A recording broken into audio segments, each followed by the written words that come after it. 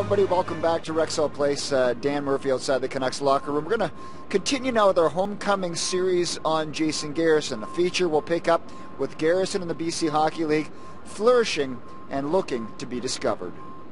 When he ponders his road taken to be a National Hockey League defenseman, Jason Garrison is philosophical as how fate intervened, how a coach's decision would unlock the key to success. I'm sure this is familiar with a lot of guys, but just a lot of like, not freak situations, just like kind of odd situations happened um, for me especially that, um, you know, if, if they didn't happen, I, who knows where I would be or what I'd be doing. And the one with, uh, in junior B was, obviously a big one was my coach switching me back to defense. On his way to a championship season with the Richmond Sockeyes, Garrison would miss the first two games of a playoff series with an injury. He would return for a third game and catch the attention of a more than interested observer.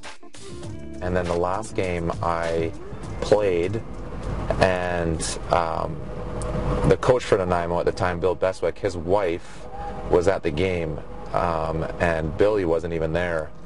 And I played, I had a good game. Um, you know, I think I had a couple goals and maybe a couple assists, and, and we won the game. And his wife told um, told Bill that he should recruit me.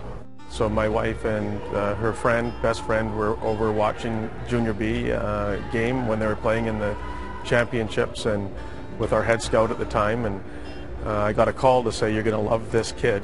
Uh, his name is Jason Garrison.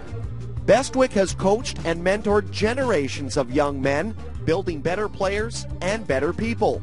He will always have a special place for those that came from obscurity and refused to give up on their dream. He's one of those kids about perseverance. He's one of those kids that didn't get, wasn't in the Bantam draft, didn't make team under 16, 17, 18, or wasn't even asked to attend those camps. So talk about perseverance and talk about a love for the game and talk about playing the game for all the right reasons because he loved it and he wanted to get better at it and he just worked hard every time that he had the opportunity. And as it turns out, um, he, uh, he benefited from all the time and effort that he put in.